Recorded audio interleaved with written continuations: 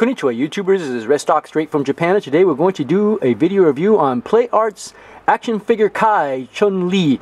This is from Street Fighter 4, the Super, or Super Street Fighter 4, the arcade edition. And I'm trying to emulate that Kikoken, but I tell you what, it's not easy. But hey, at least she can stand up. She got nice big feet, which is good. And I me tell you, the detailing on this boy, or girl rather, is rather exquisite. Beautiful, beautiful artwork. Well, let me show you the box as always. Here we go. Super Street Fighter 4 Arcade Edition. Play Arts Action Figure Kai Chun-Li so hey it's expensive. Yeah that translates to about $63 so I tell you what if you can import it or actually there's that little key cook and I tried to emulate that. It's not easy to do that. Here's the back of the box little poses and I'm going to tell you this that pose is impossible without some kind of stand and it does not come with a stand so already I'm kind of disappointed so she can get in good poses, uh, as you can see uh, from the back in the day. Uh, bottom of the box, Square Enix. you can read backwards. So let's go ahead take a look at the figure.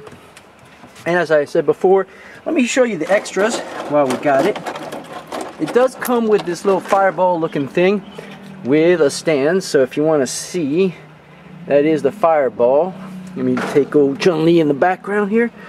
Yeah, probably shouldn't have done that. That is the fireball right there. As you can see the detailing on that. I don't know if the dust is supposed to be like that, but hey, there you go. It's a traditional fireball. I think uh, Ryu's is pretty much the same, and I tell you, getting that little post in there was a pain. So, good detailing, a little extra. Did they need to do that? I don't know. It comes with its stand. Unfortunately, the figure doesn't come with a stand.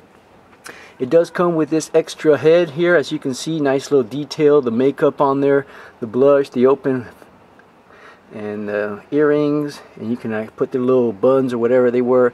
So the detailing is pretty good. There's the extra head and it, it actually comes pa packaged with the two closed fists. So I got the open fist and I put it over here. So that is the figure right there. Yeah I'm trying to do that little Kikoken pose but I can't seem to get it you know, as you can see, the head very detailed with the amount of blush and uh, what do you call that? Uh, mascara. Uh, I don't know if the lip gloss is on there, so very good detailing on it. The paint detailing is good. And it's got her brown hair, the little buns, of course, which has detail. The white little splotches of gold on the white, uh, whatever they're called.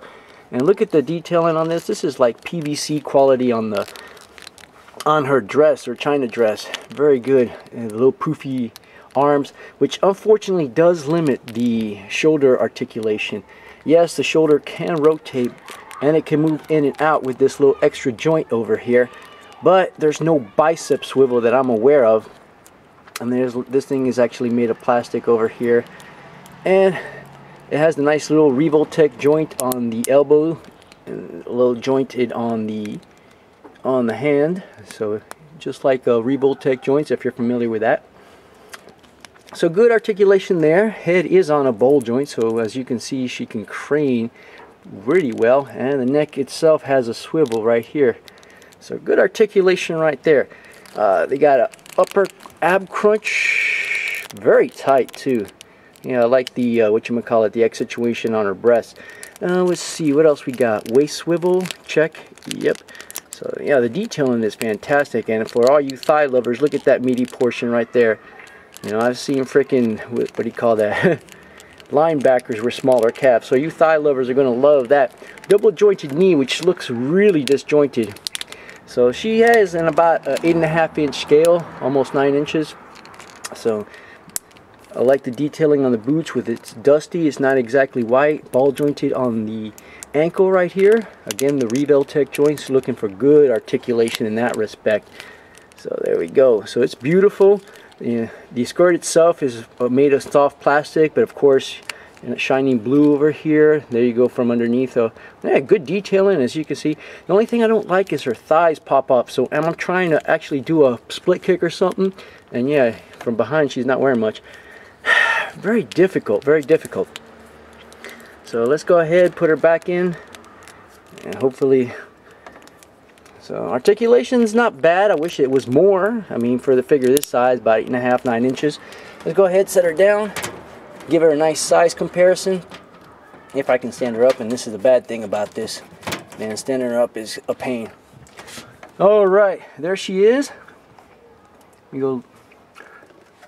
Here it is with Kanu Uncho from Ikki Tousen.